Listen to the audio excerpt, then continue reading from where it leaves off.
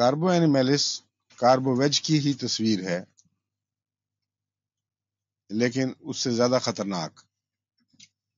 कार्बो एनिमेलिस में बीमारियों का कैंसर में तब्दील होना ज़्यादा दिखाई देता है बनस्बत कार्बोवेज के।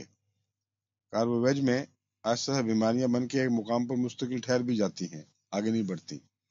कैंसर भी होता है मगर कम, लेकिन कार्बो एनिमल्स में ज़्यादा इस्तेमाल है। इसलिए इसको पहचानना बहुत ज़रूरी है और इसका फ़र्क कार्बोवेज से मुश्किल है कुछ, क्योंकि बहुत मिजाज मिलते हैं। लेकिन जहाँ कुछ वायलेंस आगे बढ़ जाती दिखाई दे, वहाँ बेहतर है कि कार्बो एनिमल इसको पहले शुरू कर दिया जाए। कमी खून के मरीज़ क्रॉनिक एनीमिक पेशेंट्स जिनमें दिफा की ताकत ना रही हो, उनके चेहरे भी पेल होते हैं और मुस्तकिल क्रॉनिक कमी खून के आसार उनमें ज़ाहिर होते हैं। उनमें कार्बोनिमेलिस अच्छी दवा है। उसी तरह वरीदों की अमराज यानी वेन्स की जिस तरह कार्बोवेज में पाई जाती थी। वदूदों में इसके भी सख्तियाँ जिस तरह कार्बोवेज में पैदा होती हैं। सख्तियाँ बनती हैं, गुठलियाँ बन के फिर वहीं बैठ जाती हैं, फिर और बीमारी है फिर और बढ़ गई।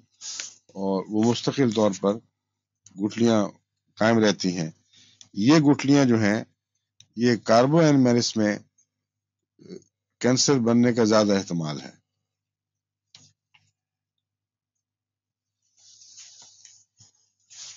ऐसे वरीदों की बीमारियाँ या गुठलियों की जिनमें पीप ना बने और लटकती रहें, ये एक और भी आपको बताई थी मैंने दवा, वो कौन सी थी? याद है? हैं नहीं खुदा खौफ भी करें साथ। बेरानो तो फौरी दवा है। मैं क्रॉनिक बात कर रहा हूँ। बेरानो तो आनी जानी आनंद फान वाली दुआ है। हैं? नहीं। नहीं। और कोई तुक लगाए? इस्कुलस वेन्स के हवाले से मैंने वाज तौर पर समझाया था कि उसके पाइल्स भी फूले हुए, नीले से लगता कि बस वैसा पीप बनी के बनी, लेकिन नहीं बनती। और वेरिकोस वेन्स की इसीलिए वही अहम दवा है। इस्कुलस की और क्या बातें थी? बाद लोग उसको आँखों के पायल्स कह देते हैं। आँखों की सुर्खी और उसका दबाव और फिर होते चला जाना और कभी ठीक ना होना यहाँ तक कि मुस्तकिल जूस बन जाए। और उसकी आँखों की मुतलका बीमारियाँ फिर होती हैं, वो इस्कुलस में नुमाया तौर पर पाई जाती है। बस इस लिहाज से ये इस्कुलस दिखाई देती है, कार्बोएनिमेलिस। वेन्स के ताल्लुक में इसका मिजाज इस्कुलस से मिलता जुलता दिखाई देता है, मगर बाकी बातों में बहुत फ़र्क है।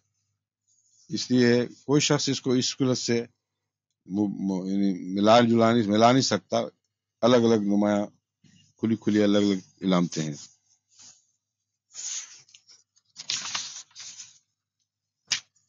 ड्राउन ख्वाब कार्बोएनिमेलिस में नुमाया है। गुद्दी का दर्द, पीछे दर्द बैठ जाने वाला। बदबूदार अखराजात तो एक आम बात है कार्बोवेज की भी और इसकी भी, सब में काम मुश्तरक है। गुठलियाँ मैंने बताया ना जगह जगह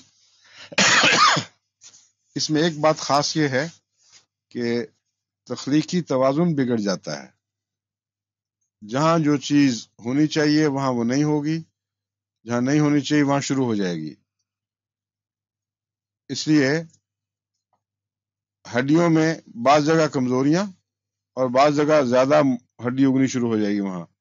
एक्सटोसिस जिसको कहते हैं। एक्सोस्टोसिस हाँ एक्सोस्टोसिस वो इसका इससे ताल्लुक है।